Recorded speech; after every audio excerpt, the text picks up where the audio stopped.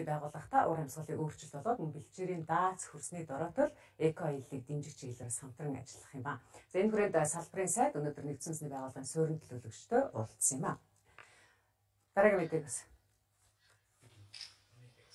Манай орны байгаль цагуур өөрчлөгдөж олон жилийн дунджаас агаарын температур 2 хувиар нэмэгдэж дулаарчээ.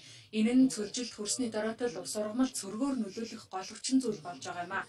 Тиймээс байгаль орчин аялал жуулчлалын салбарт тулгамдж байгаа олон асуудлыг шийдвэрлэхийн тулд нэгдсэн үндэсний байгууллагатай хамтран ажиллахаар болжээ.